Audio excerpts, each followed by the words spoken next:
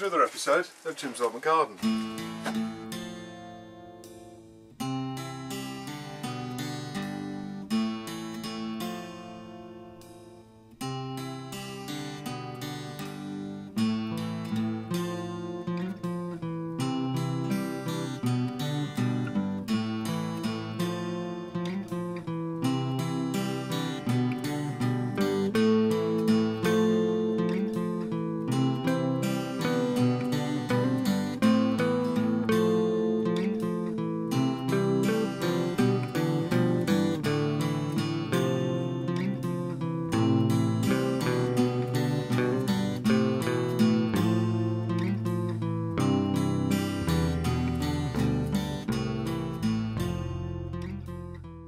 Okay, so as you can see the basil um, is really doing well and it's, it's, it's now time to put it out. As you can see it's grown quite big and what I really do need to do with these is to, to kind of stop them so it bushes out.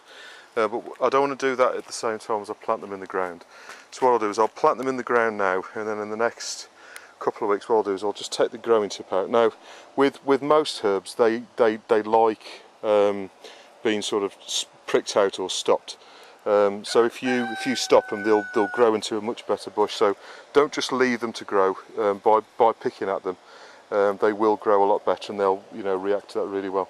So all of the obviously we've got three different types of um, of um, basil here. We've got these these here, which is basically just sweet basil, as you can see, um, and then we've got this darker, uh, which is basically called crimson crimson king and so what I'm going to be doing is planting this um, in the border next to the greenhouse here uh, which is originally intended for um, carrots um, which, is, which is why it's so high so carrot root fly can't go in there. But as I'm not growing carrots this year what I'm going to be doing is putting the um, putting the um, the basil into here.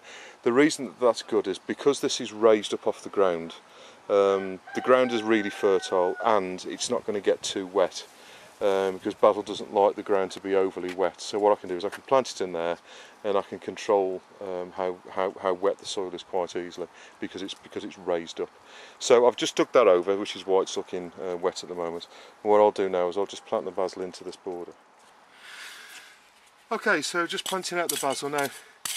Um, I'm going to start at the back because um, it's not so easy to reach the back to be honest with you from here.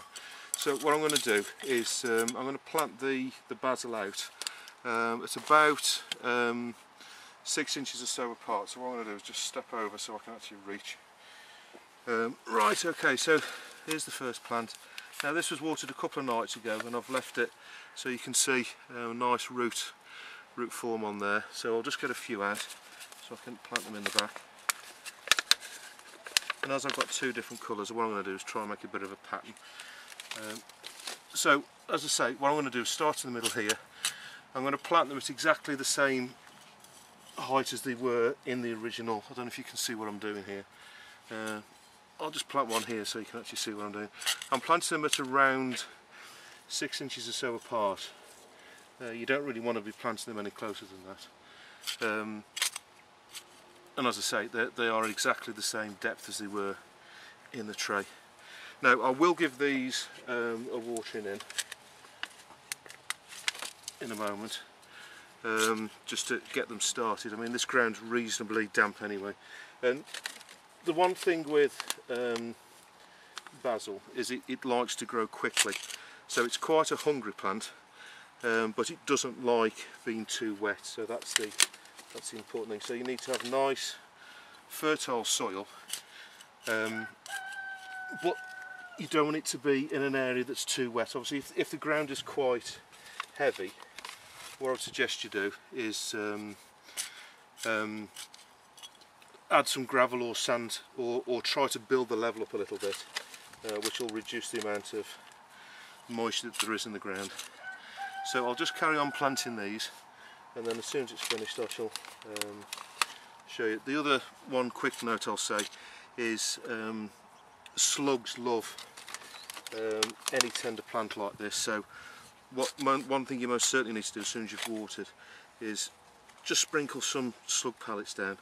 Now I actually put some slug pellets in here uh, before I dug it over. Um, and the these plants have actually been hardening off here as well until I move them round the side. So I'm reasonably confident that all the slugs that were potentially here have now been killed but just to be on the safe side what I'm going to do is as soon as I've watered these in I'm going to be putting some more slug pellets down. Um, and obviously I recommend you get the the slug pellets that aren't harmful to um, other creatures such as um, birds or hedgehogs and things um, if you can because they are um, better for the environment than um, the you know the sort of the copper sulfate based ones uh, which are obviously poisonous to uh, wildlife. So I'm just going to as I say I'm just going to carry on putting these in and then I'll show you as soon as it's all finished. Okay and that's it all planted so I don't know if you can see it but if you kind of squint you can almost see an England flag. But uh, that's about as close as uh, to patriotism as I guess but um, I've put all the uh, the green in the middle um, up the side and obviously the four corners have got the um, the red or the sort of the purple and um, the crimson. But uh, that's the uh, that's the um, uh, the basil planted. What I will do is that the ground's reasonably um, damp already to be honest. So I'm not going to, um, it's, it's sort of reasonably damp but what I will do is give them a little bit of watering later on tonight uh, just a sprinkling and I'll, as I say I'll put some um, slug pellets down as well just to make absolutely sure we've got no slugs in here um, but that's the basil planted and I'll show what that looks like um, in a couple of weeks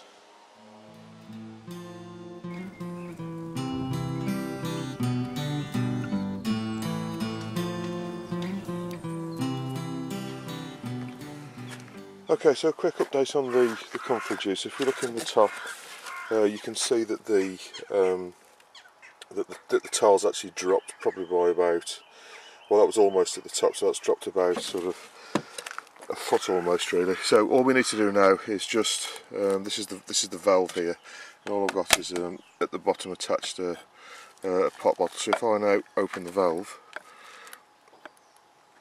so this is not easy to do with a camera in your hand there you go so that's the that's the comfrey juice draining out as you can see it's quite concentrated um, you know you get this sort of black or sort of dark brown um, liquid coming out now I've already drained off out of this tub I've already drained off a full bottle so this is the second bottle.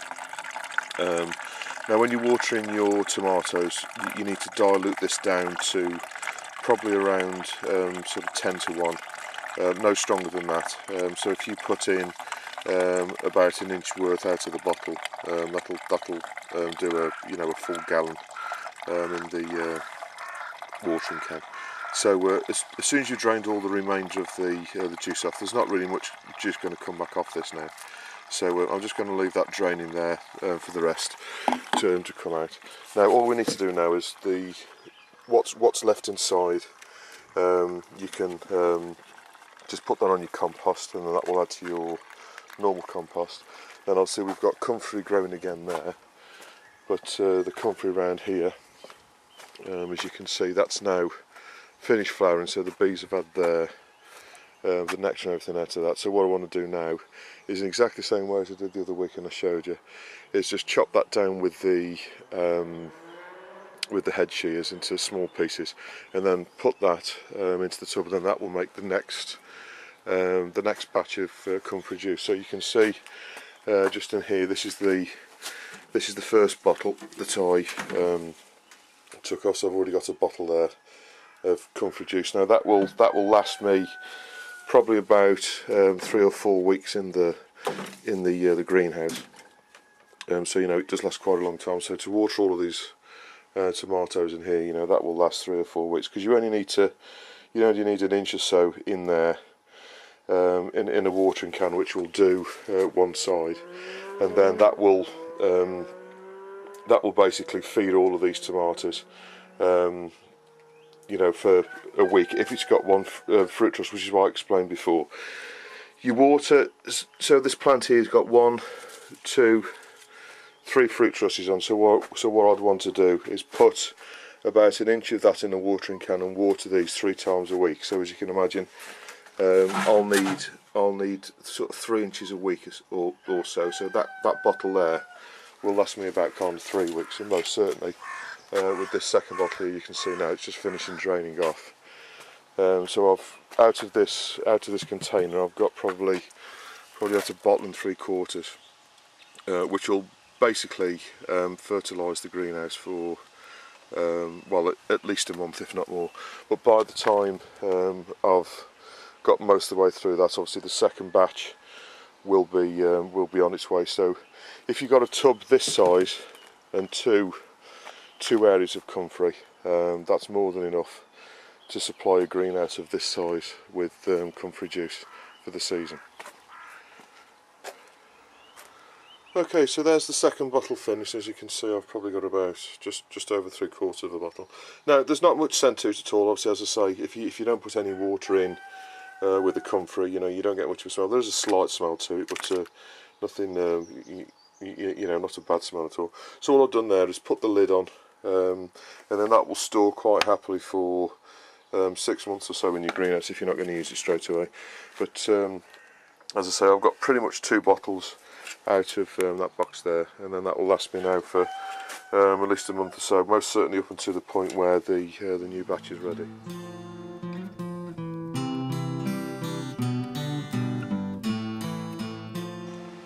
okay the sweet peas are doing really well um, now what I tend to do is these are if you want sweet peas to last a, um, a good time pick pick the flowers off like that um, so basically what you do is you go down where the stalk is, go down to where it meets the main stalk and just put your thumb through it. It will break off reasonably easily, uh, like that. And then put these, put these all together, and then cut them all off cleanly with a pair of scissors at the end.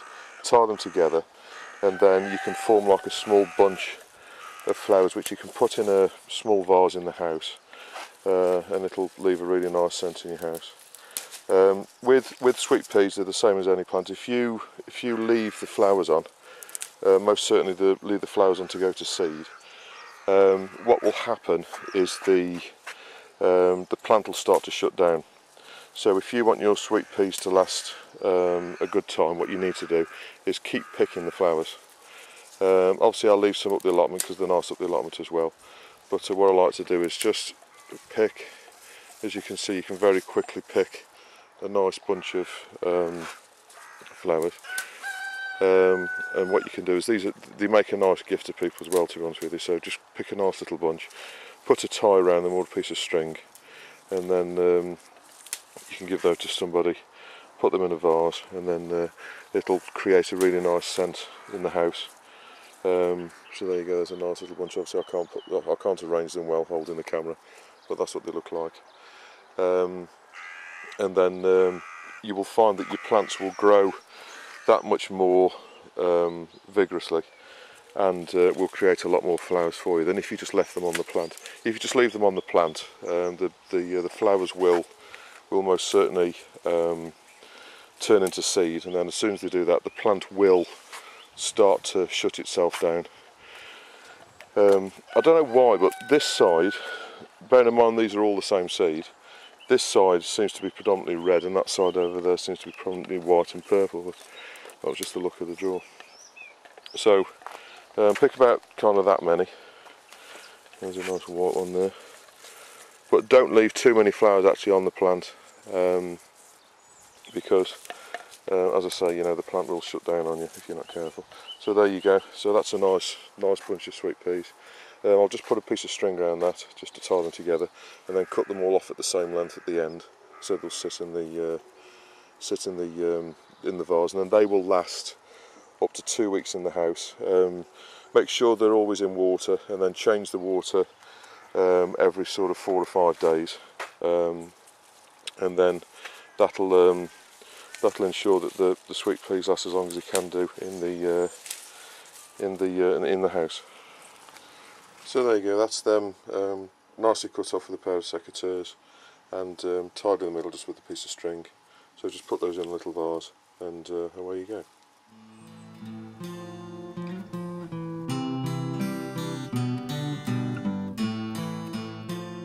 Okay, so this week in the greenhouse I've had a bit of a problem. Um, the tomato that was there um, and also the one that was at the back there um, developed some kind of rot. Now I wasn't sure if it was um, if it was uh, blight um, because of the weather that we've been having. Now blight always attacks when it's humid um, and, and, and, when it's hot. Those are the those are the ideal sort of um, conditions for blight to uh, develop in a greenhouse. Now I didn't want to take any risk. Obviously I've got all of these tomatoes on this side. Uh, which are doing really well. There's absolutely no sign at all on this side of any um, anything that's um, caused me to have concern. But the two plants that were there and there um, were showing signs all the way up the stalk of um, sort of blight, something that looked like blight. So what I did, I didn't want to take any risks at all because if you do get it in your greenhouse, it's going to spread throughout the greenhouse incredibly quickly.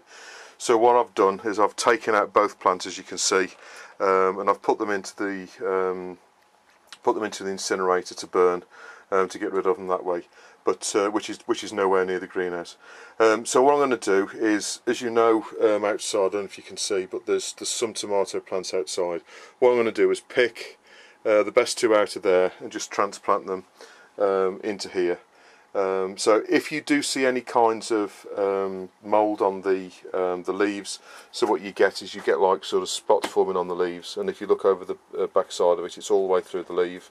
Um, it's like black rings, and then you'll start to see stalks um, being damaged as well, and you, you'll start to see them going dark and um, like fungus on the leaves. If you do get any of that, be really vigilant obviously.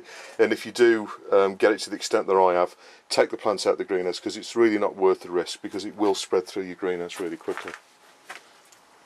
Okay so there you can see I've replaced um, that tomato there uh, and that one over there. But continuing on with the um, the blight um, issues that you get in your greenhouse obviously you get it outside as well with potatoes um, because the well you, you can get blight on potatoes tomatoes or um, or um, aubergines or eggplants because uh, they're all in the um, um, same family of plants. Obviously th there are other types of blight which are basically fungal um, that you also get on alliums, onions and garlic and things like that. But um, the, the blight I'm talking about is obviously the ones that go on the sort of deadly nightshade plants. Now the things you can do to um, uh, reduce the chance of getting it is one, ventilate the greenhouse, that's really important. So as you can see um, I've got the window open there, the window open there, and obviously at the top, and the door is always open as well. So there's always plenty of air coming through. But the one problem that I've got at the moment is I've got plenty of weeds growing in the bottom of the um, tomatoes, as you can see here. So what you need to do is kind of get in there and pull out all of the um, the weeds out from underneath, because what you want is to to have a really nice um, airflow underneath the underneath the uh, the tomato plants, and that's really important. And this is also um, the airflow around the bottom of the plant is also improved by removing some of the um, the bottom leaves. So as soon as your plant gets to kind of this big, where it's kind of four foot or so high, what you can do is start to take off these um, lower leaves here. Um, because the uh, basically the leaves will um, prevent the, the air from circulating around the bottom of the plant. And that's typically where the uh, the blight will start because obviously because you're watering the plants at the bottom um, that's where the, the moisture is or the humidity um, and that's where the um, that's where the blight is more more likely than not to start. So by taking out all of these weeds um, at the bottom here uh, what that's actually doing is it's increasing the the amount of air that's flowing. As you can see at the back here there's plenty of weeds um, and there's a there's actually a um, a gourd growing here so there's there's all as you can see there's you know there's all sorts of stuff growing in here. And in in, in a greenhouse environment you know it will grow sort of really quickly. And it's it's surprising actually I find that when you're weeding in um, this time of year in the greenhouse um, that the uh, you know the amount of plants that you get through. So that that plant there, as you can see, this one here, that's actually a um, this one. Um, that's actually a um, Nicandra plant, which is which is a plant that um, that I've grown in here, and obviously I've had one that's run to seed, and now the seeds are all over the floor. So also, what you want to do is take off any of these sort of side branches that you get. Now, this tomato plant here, I've just noticed. I don't know if you can see but uh, there's a there's a branch coming out of the back there so that's also um, undesirable so what you need to do is kind of get in um, here and then pull all of the pull all of the weeds out. So that literally all you've got growing in in the greenhouse is uh, your tomato plants. Now that'll allow the air. Now you can see the difference that that's made uh, which is why I videoed it whilst I was doing it. You can see now there's a lot more light coming through onto the plants.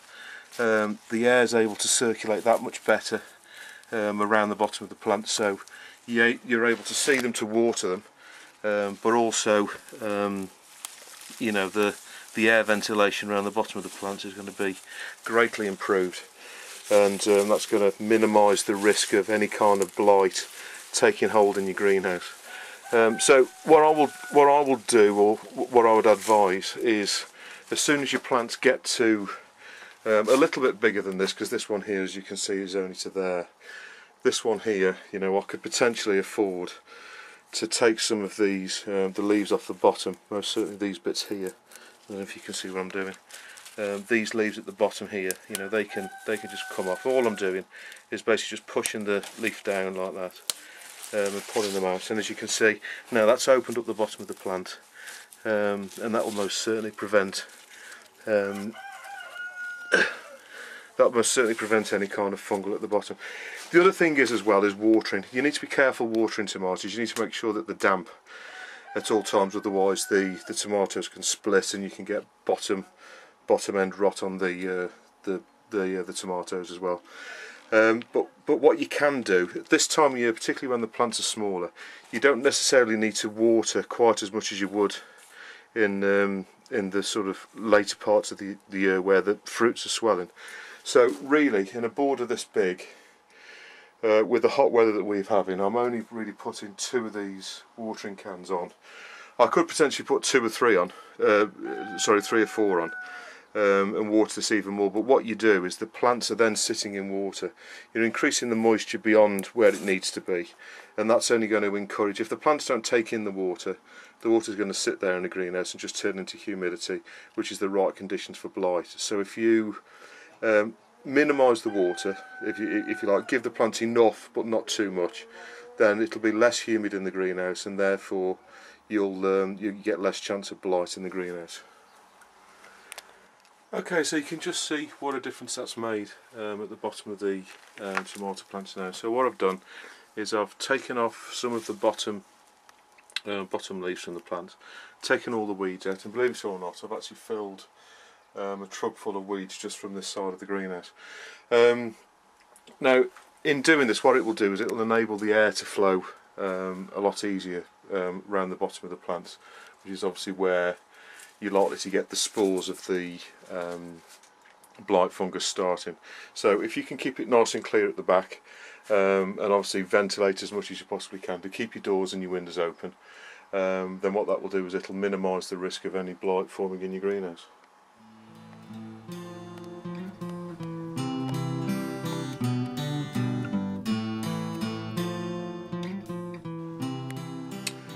Okay, just a really quick update on the um, the second lot of Calabrese. As you can see, they've all sort of picked up and they're all growing. I mean, since these have been potted up, they've probably grown about an inch or so. They've got the second leaves well and truly out now, and in fact, there's there's, there's kind of third leaves forming in the middle. So these are green, uh, growing really well in the greenhouse, um, and they'll be um, ready to put out in the next couple of three weeks.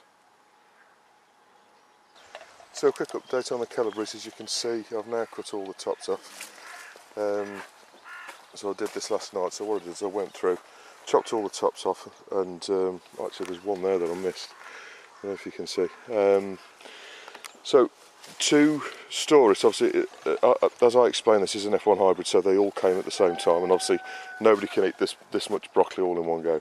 So all you do is you chop it up into the florets, so you know, sort of inch and a half or four four or five centimetre long florets um, and then wash them in, in um, clean cold water in the sink um, and then get a large saucepan, bring that to the boil uh, with about um, you, know, you know sort of plenty of water in there. So about um, about sort of a gallon of water. Um, bring that to the boil. And then as soon as that's boiling you plummet the or put the uh, the Calabrese um, florets into the um, the water, uh, leave them in there boiling. Uh, well, wait for it to come back up to the boil, and then leave it boiling for no more than sort of a minute, and then um, pour those out, and then instantly um, put them back into cold water to to cool them back down.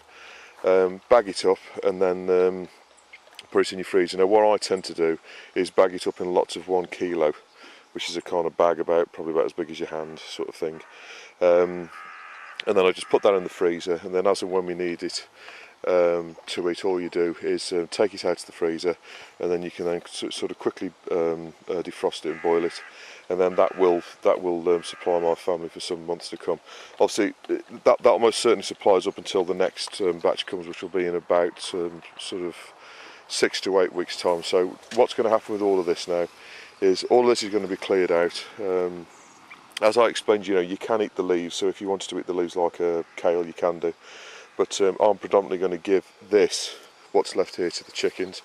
Dig the ground over, roughly, just get all the weeds out, and then firm the ground back down, and then that'll be ready for the, um, the new Calabrese plants um, to go in, which will be probably ready in the next two or three weeks. And then that'll be the, uh, the winter, winter batch of um, um, broccoli.